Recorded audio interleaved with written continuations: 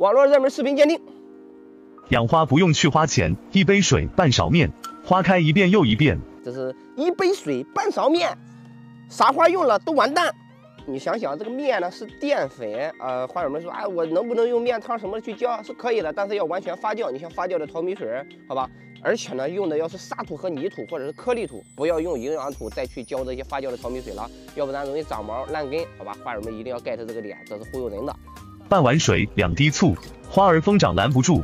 这个半碗水，两滴醋啊，花儿疯长拦不住，这是错误的。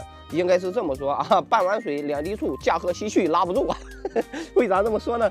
你像醋的话呢，大家说不是说不能用，如果说纯粮发酵的那种醋呢，用一点是可以的。这个半杯水两滴醋呢，这个呢，醋这个东西呢，不是植物能够完全去发酵和吸完全吸收的。如果说醋多了的话呢，也会不好。大家应该吃过凉拌黄瓜之类的齁酸，植物呢根本就受不住。植物呢是在弱酸的一个条件下，而醋的话呢，大多的 pH 值是在四点多，这样的话是不理性的。如果有的话说，老花友可以用醋来降低这个碱碱度吗？白醋是可以的啊，有一定的作用。但是呢，与其你那么费劲巴瞎的，现在生活条件好了，有净水器里的水或者是雨水，那不就完了吗？你就纠结那个干什么？有的话说，哎，我就想调节酸碱度呢。调节酸碱度，你可以发酵一些个你的果皮啊，发酵一些你厨余垃圾啊。你要嫌臭的话，你也可以去选择反水水啊。半杯水，半杯茶，烂根黄叶都不怕。这个是半杯水，半杯茶啊。我觉得是各种飞虫往外爬呀。为啥那么说呢？你像这个茶叶呢，大家都喝过，茶叶呢是有一定的茶碱的，是吧？就是叫茶多酚也好，但是我们土话说叫茶碱。你像这个茶叶这一块的话呢，大家经常的喝一些茶叶，呃，茶具上面会有不同的一个茶碱，会有一些茶垢。你植物也是一个道理。如果说你长时间的浇一些茶叶水呀，啊，我老是跟花友们说这个事，它这个根系上面它会附着那些个茶碱，它会导致这个根系呢变得衰弱了，它就吸收啊来回受阻。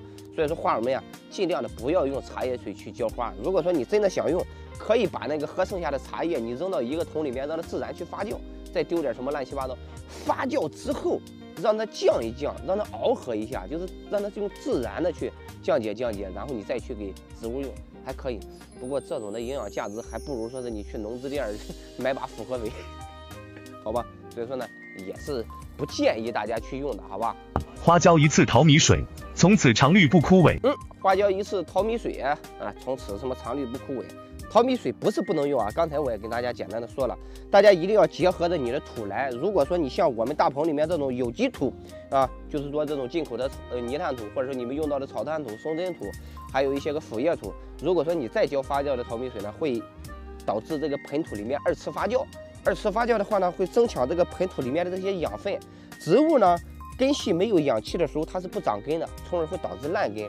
再有一个呢，还会长毛异变，光照不好的时候。啊你要用上以后还生各种霉菌和虫子，所以说不是不能用。如果说你用的是泥土啊，还那句话，泥土、沙土这些个发酵淘米水啊，再好不过了。如果不是，那您就趁早别用，尤其是楼房。好了，我是老花一，养花最专一，点个赞再走吧，拜了。